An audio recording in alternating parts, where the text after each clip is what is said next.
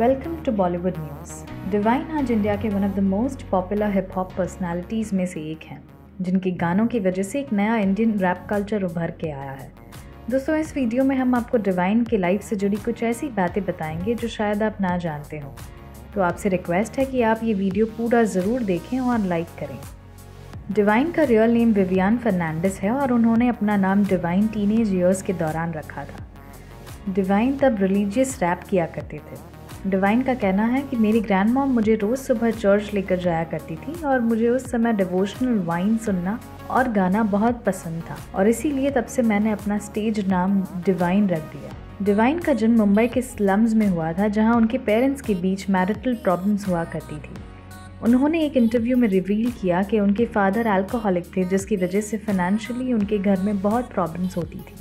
उनके बाद उनकी मॉम ने ही घर की सारी रिस्पॉन्सिबिलिटीज़ संभाली। इसी सभी रिस्पॉन्सिबिलिटीज़ के चलते उनकी मॉम को जॉब के लिए वर्किंग वीज़ा पर मिडल ईस्ट शिफ्ट होना पड़ा।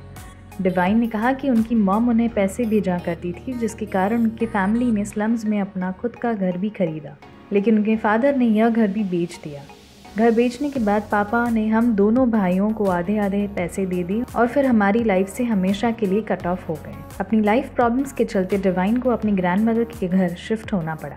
जहाँ उन्होंने हिप हॉप में इंटरेस्ट देना शुरू कर दिया।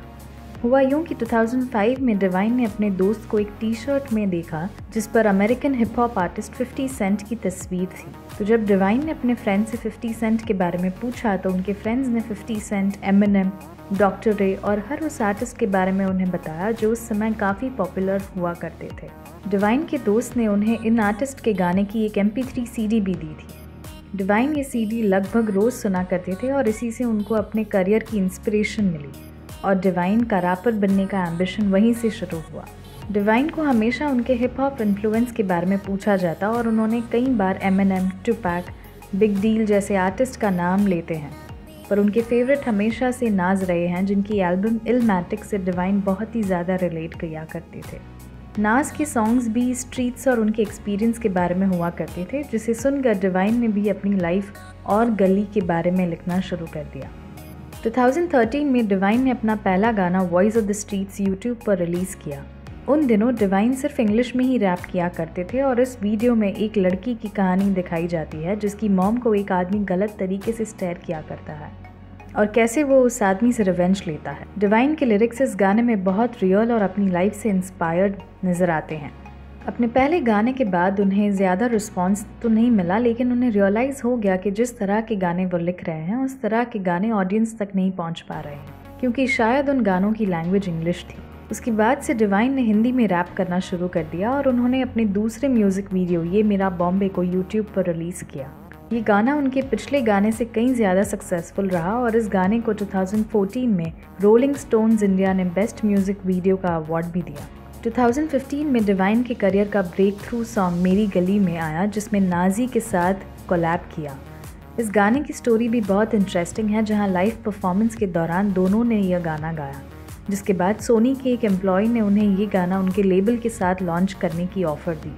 डिवाइन के लिए उन दिनों ये बहुत बड़ी बात थी, क्योंकि उन दिनों इतने बड़े लेबल्स इंडिविजुअल न्यू आर्टिस्ट को इस तरह प्रमोट नहीं किया करते थे। पर डिवाइन का गाना उन्हें इतना पसंद आया कि सोनी म्यूज़िक ने उन्हें ऑफिशियली साइन कर लिया, जिसके बाद उन्होंने सोलो हिट्स जंगली शहर और फ़र्क भी रिलीज़ किए। बीबीसी नेटवर्क के फायर इन द बूथ में डिवाइन ने अपने रैप से हिस्ट्री क्रिएट कर ली जहाँ वो पहले ऐसे आर्टिस्ट बने जिसने इस शो में हिंदी में रैप किया। फायर इन द बूथ एक ऐसा टीवी शो है जिसमें सभी इमर्जिंग आर्टिस्ट को बुलाया जाता है और इसी वक्त अननोन बीट्स पर आर्टिस्ट को रैप करना होता है। डिवाइन की परफॉर्मेंस देखकर हर कोई उनकी परफॉर्मेंस का फ़ैन हो गया। ये उनकी अर्ली सक्सेस में से एक थी जिन्हें देखकर सभी को यकीन हो गया था कि डिवाइन का टाइम अब आ चुका है।